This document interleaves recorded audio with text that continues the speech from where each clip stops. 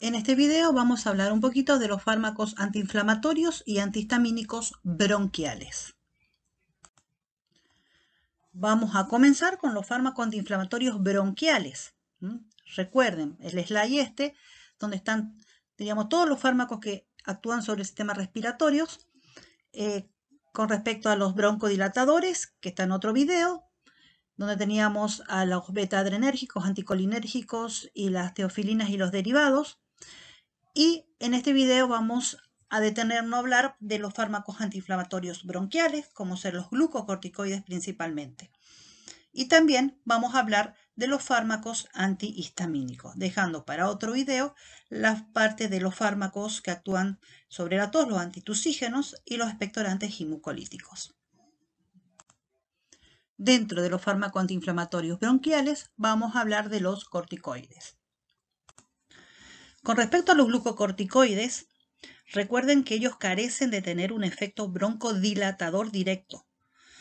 Y ellos a través de su mecanismo de acción que ustedes ya conocen de clases anteriores, de la clase de glucocorticoides, ¿se acuerdan? Fíjense la cascada, repasen el mecanismo de acción de los glucocorticoides y van a poder comprender que a través de ese mecanismo de acción ellos tienen eh, la capacidad de disminuir el efecto inflamatorio, eh, disminuyen el broncoespasmo y disminuyen la producción de moco.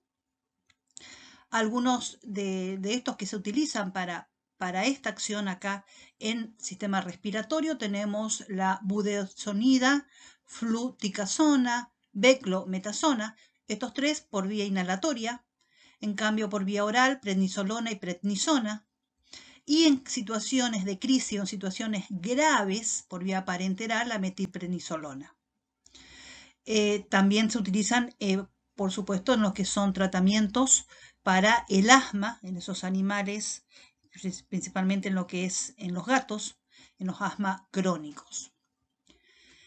Bien, la administración sistémica, en el caso, por ejemplo, de prednisolona, que vamos a darle por vía oral, que puede ser de primera elección, o bien si administramos por vía inhalatoria, por ejemplo, el propionato de fluticasona, budesonida, eh, la beclometasona, por ejemplo, eh, esa administración decrece, disminuye lo que es la inflamación, el aumento de los eh, eosinófilos, por ejemplo, podemos decir que decrece la inflamación eosinofílica de todo lo que es la vía aéreas.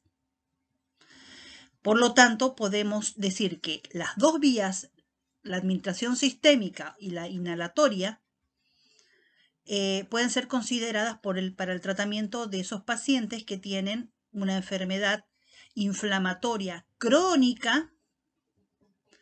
Eh, y hay eh, casos reportados para eh, contraindicar el uso de los beta 2 adrenérgicos de acción prolongada como monoterapia, debido a que la inflamación crónica de las vías aéreas necesita o pide o requiere el uso de antiinflamatorios más potentes como ser los corticoides. ¿Se entiende? Entonces, utilizar como primera elección estos, los corticoides, porque se necesita como urgencia, y antes que los beta-2 adrenérgicos, que son más bien de acción prolongada. Eh, los corticoides lo que van a hacer es reducir la producción de moco, la hipersecreción, el edema. Eh, van a disminuir la hiperreactividad bronquial, disminuyen también el número de mastocitos, eh, incluso inducen a la muerte programada, la famosa apoptosis de los eosinófilos. Ahora bien, corticoides junto con beta-2 adrenérgico van a tener un efecto sinérgico adicional de suma, donde el corticoide va a aumentar el número de receptores beta-2 y va a mejorar las respuestas de estos receptores a la estimulación de los broncodilatadores. ¿Se entiende? Entonces, es una muy buena combinación que trabajen en forma conjunta. Por eso hablamos de un sinergismo adicional de los corticoides con aquellas drogas que vimos anteriormente, que actúan sobre receptores beta 2. Recuerden que los glucocorticoides minimizan entonces la inflamación, pero deben utilizarlo con mucha precaución si sospechan de que tienen un proceso infeccioso. Recuerden que los glucocorticoides disminuyen las defensas del organismo. Eh, es fundamental también que eh, combinen con broncodilatadores. La prednisolona, por ejemplo, pueden administrarlo a la dosis 0,25 a 0,5 miligramos por kilo por vía oral cada 12 horas durante 10 a 14 días. Luego deben reducir la dosis hasta que consigan una cantidad o una dosis mínima que sea efectiva para contrarrestar los síntomas. En el caso que tengan tratamientos de urgencia, que tengan que hacer un tratamiento de urgencia, eh, en este momento de la crisis, eh, de esa urgencia, se debe evitar, por ejemplo, todo tipo de estrés en el animal. Por ejemplo, deben evitar una inyección o hacer una radiografía porque el paciente está en la crisis y deben colocarlo en un ambiente que sea rico en oxígeno. Por eso se aconseja, en el caso de pequeños animales, en jaulas que tengan oxigenación. Eh, entre los fármacos que pueden utilizar tenemos el corticoide durante aproximadamente 5 días, dexametasona 1 2 miligramos por kilo vía endovenosa, intramuscular o subcutánea en una única dosis y prednisolona 0,5 a 1 miligramos por kilo por vía endovenosa cada 4 a 6 horas. Entonces, para finalizar eh, de hablar de los corticoides que ya hemos visto en clases anteriores, debemos primero entender que la obstrucción de la vía aérea, que se da por ejemplo en el asma o en el EPOC, eh, por ejemplo, no es solamente que fue causado porque hubo un espasmo de la musculatura lisa de los bronquios, sino que también fue porque hubo un edema de la mucosa, porque hubo un, acúmulo de secreción, hubo una inflamación de las vías aéreas. Por lo tanto, los corticoides sistémicos eh, son muy importantes que se utilicen acá justamente en los episodios agudos graves. Principalmente cuando tenemos un paciente en esa situación y que eh, utilizamos un broncodilatador, broncodilatador, pero no de una respuesta, diríamos, leve.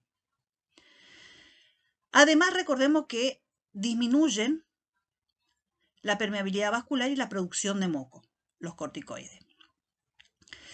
Eh, debemos optar siempre que podamos por un corticoide de corta duración, por ejemplo la prednisona, y luego reducir su dosis para un mejor control de todos los síntomas clínicos.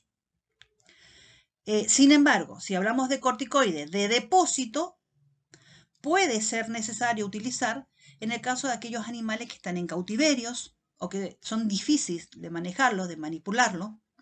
Podemos utilizar eh, el acetato de metilprednisolona. Vamos a hablar de otro grupo que son los antagonistas del leucotrienos o antagonistas de los receptores del leucotrieno. Recuerden que los leucotrienos son constrictores del músculo liso bronquial. Los, los leucotrienos son broncoconstrictores. Aumentan la producción de moco, aumentan el edema de las vías respiratorias. Y entonces producen la broncoconstricción. Eh, este grupo, si bien eh, en Argentina no, en la clínica veterinaria no son utilizados, sí, sí utilizan en otros países. Eh, algún día va, van a haber registros de, su utilización. Debemos por lo menos saber que los, los leucotrienos son broncoconstrictores y tenemos que, contrarrestar esa acción. algunas de estas drogas son llamadas el monte, el monte Lucas y Zafir Lucas. Fíjense que son nombres que todavía no, lo tenemos, diríamos, eh, muy habitué en su uso. Se administran por vía oral, no están indicados en los ataques agudos de asmas eh, y si bien son menos potentes, eh, que los corticoides, la bibliografía dice que se pueden utilizar junto con o asociados con los corticoides. El último grupo que nos queda dentro de los fármacos antiinflamatorios para las vías respiratorias, tenemos los fármacos que son inhibidores de la liberación de los mediadores de la inflamación. Los, le llaman cromonas. Dentro de ello tenemos la droga el nedocromilo. También es otro grupo de, fármacos que eh, no están muy utilizados en la clínica veterinaria, al menos en nuestro país.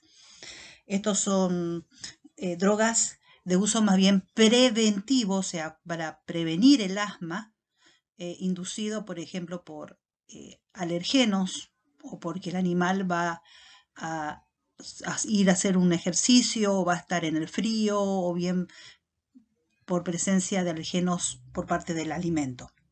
Lo que hacen es impiden la liberación de mediadores de la inflamación que lo que liberan son los linfocitos y los basófilos. Entonces, previenen su liberación. Tienen ciertos efectos adversos eh, que fueron más bien, diríamos, detallados en el uso de humanos, como ser la alteración del gusto, eh, cefaleas, náuseas y presencia de tos. Entonces, eh, con más razón, en, medicina veterinaria no se utiliza porque justamente tenemos otras drogas, ya que las hemos visto, que son de primera elección y andan muy bien. Veamos los fármacos antihistamínicos. Eh, o sea, aquellos que están relacionados con las alergias. En el gato se utiliza la ciproheptadina. Este es un antihistamínico eh, del tipo de las piperacinas de primera generación que tiene varias propiedades. Es anticolinérgica, es antiserotoninérgica, orexígeno, ¿sí? ¿Recuerdan que era, aumentaba el apetito? Por eso le puse ahí eh, esa presentación de Holiday que ya lo vieron, en digestivo, fíjense que el apetil tiene ciproptadina eh, y también tiene un efecto anestésico local. A ver, vamos a tratar de entender. La serotonina es un broncoconstrictor inducido por eh, alergenos en el gato principalmente. La ciproheptadina, que es un antihistamínico antagonista de la serotonina, se puede utilizar también en forma conjunta con glucocorticoide y con broncodilatadores para que para poder bloquear esa broncoconstricción en los tratamientos crónicos. Eh, la ciproptadina lo que hace también es disminuir la hiperreactividad de la vía respiratoria pero no va a disminuir una inflamación eosinofílica de la vía respiratoria. Debido a su semivida larga, 12 horas, eh, usar ciproheptadina requiere varios días para poder alcanzar una concentración de estado estacionario y puede ser necesario hasta 7 días para poder ver realmente efectos clínicos. Eh, el antagonismo de los receptores de serotonina, a su vez en el centro del apetito, estimula el apetito, por lo que hace que nuestro paciente aumente de peso. Y esto podría también ser un problema. Otro antihistamínico es la difenidramina, muy conocida. El mecanismo es eh, ocupar los receptores H1, donde en el sistema nervioso central. Y además va a bloquear la histamina endógena, evitando que eh, estas actúen los receptores de ciertos tejidos específicos. También puede disminuir la secreción de las glándulas, eh, con inervación coninérgica, como por ejemplo los del tracto respiratorio, por eso lo estamos viendo acá en el sistema respiratorio. Eh, ahora algo muy importante. La difenidramina cruza barrera hematoencefálica, por eso nuestro paciente puede presentar sedación o también alteraciones de las funciones cognitivas, porque pasa barrera hematoencefálica.